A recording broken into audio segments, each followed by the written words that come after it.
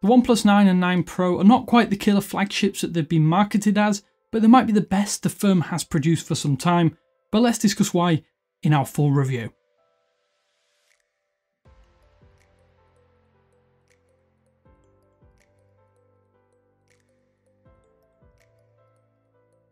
So it's a tale of existing hardware getting a minor refresh on the OnePlus 9 and the 9 Pro, but the build quality is almost undoubted at this stage. Of course the OnePlus 9 is smaller and it has plastic side rails, but side by side you would be hard pressed to tell the difference between these two apart from that cold touch of the aluminium frame on the OnePlus 9 Pro. Naturally that OnePlus 9 as well has the assured chunky feeling that is backed by a real firm feel in the hand. The 9 Pro feels slightly thicker and even yet more firm if that's even possible. The biggest downside though is the glossy new finishes, especially given that OnePlus has more or less pioneered high quality matte smartphone colour options in recent years. It's just a shame to see them go to a glossy option which isn't quite as nice to look at from a distance.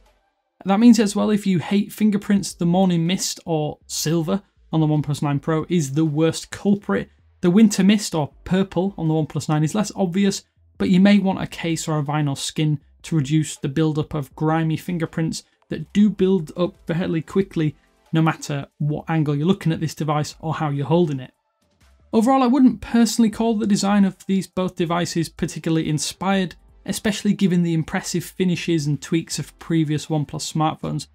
I think you can kind of see the iPhone 11 and 12 inspiration on that rear camera module, but it is overall fairly inoffensive for an Android smartphone in 2021. It's also a tale of two displays on this duo. If you favour a flat display, the OnePlus 9 does not disappoint. Effectively, it's more or less the same display as the OnePlus 8T, that means Full HD Plus, 120Hz. It looks great and it feels great. While the OnePlus 9 Pro has an QHD Plus LTPO panel that knocks things up a notch compared to the OnePlus 8 Pro from last year. This newer AMOLED display has a proper dynamic refresh rate that can be set as low as 1Hz, this should have battery benefits, but I can't say I've even noticed it in action. Basically, it just means that still images should run at this lower rate, which means it's not constantly running at 120Hz when it doesn't need to, hence the battery saving aspect. That said, I'm pretty sure it's just the exact same display used in the Find X3 Pro, which is to say it's excellent. The downside is curved, and not many people out there like curved displays. Personally, I don't mind, and phantom touches haven't really been an issue, but if you do like flat displays, I would suggest you look at the OnePlus 9 properly rather than the Pro version. My biggest gripe though about both displays on both the phones is the usage of a cheap pre-applied screen protector. I'm not actually complaining that you get one pre-applied, it's just that on a curved display it feels sort of like tacky and it snags when using on-screen gestures when sliding from left to right and right to left. Plus it picks up grime and scuffs really easily. That said, I'd just suggest picking up a decent replacement when more are available when both of these phones start shipping globally. Another notable on the display is that in-display fingerprint scanner. It's lightning fast and probably the best on an Android phone that I've used. I like that it's also in a lower portion of the display too, making it slightly easier to reach, but it can be quite precarious. Once you've unlocked though, you'll notice that the OnePlus 9 and 9 Pro run Oxygen OS 11, which is basically Android 11 with some extra tweaks. There are very few new additions to speak of to be completely honest with you, Many of the changes are just related to the UI look and feel, which has changed somewhat since the heady days of the clean experience that OnePlus was once lauded for. In reality, the experience is just a hybrid of One UI and the original Oxygen OS you've likely used before. Does it make a difference? Luckily, I don't think it does because none of the high performance levels you've come to know and love is more or less degraded by this extra lick of paint. Bloat is also kept to a minimum, but there is more of a focus upon one-handed usability with certain stock apps including more white space and shifted UI portions because obviously larger screens are taking hold and it makes a big deal of difference when you're using things like the Messages app or the Gallery app for instance.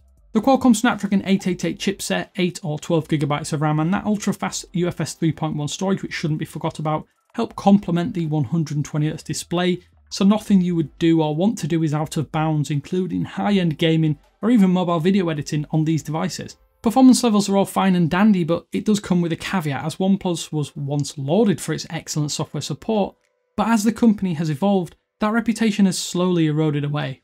The OnePlus 8 series picked up Android 11 pretty much within a matter of weeks, but the OnePlus 7 series has had to wait 6 months to get that same update.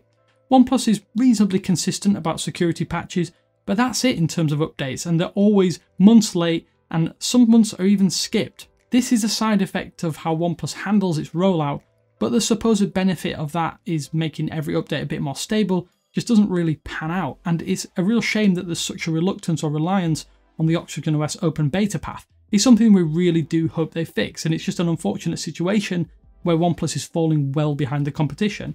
Pixel devices get 3 years of major updates, Samsung phones get the same, plus an extra year of security patches. There really is no excuse for OnePlus to be behind the curve here when prices get higher and higher year after year, and this becomes a problem directly for you, the eventual buyer. Let's talk about battery longevity though, real quick, before we tackle the biggest new addition and that of the camera. It's a tale of two lifespans again here, as while battery is fair on the OnePlus 9 Pro, it's not exactly excellent. Conversely, the OnePlus 9 is pretty darn good, all things considered.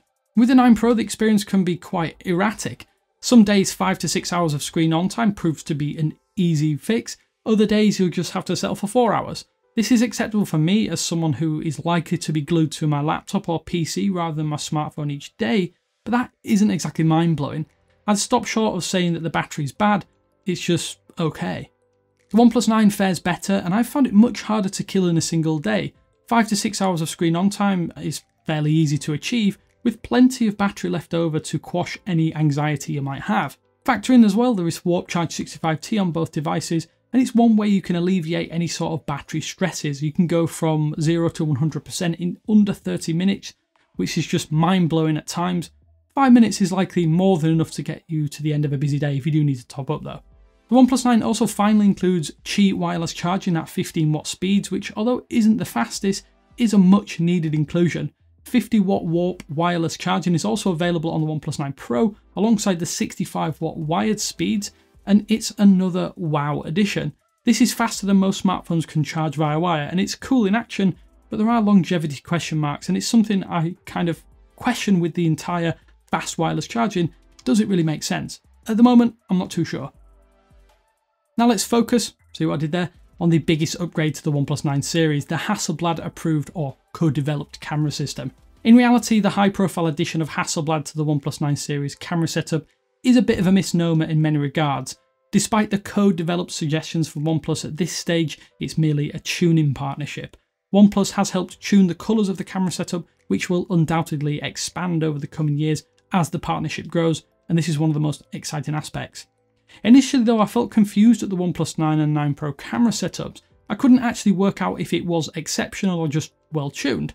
The colours in some key scenarios are among the best and most colour accurate that I have seen from a smartphone, but I would call the consistency into question here and there because it's not always perfect. Things are pretty good on the main 48 megapixel sensors, which does differ from the 9 to the 9 Pro, but the ultra wide is where things really shine for me. You may sometimes notice colour shift issues though when switching between these lenses.